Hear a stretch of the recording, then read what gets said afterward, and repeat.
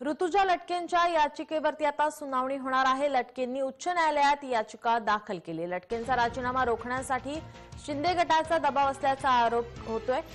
आमदार रमेश लटके यांच्या पत्नी ऋतुजा लटकेंनी पालिकेविरोधात उच्च न्यायालयात याचिका दाखल केली आहे. या याचिकेवर आज सुनावणी होणार आहे.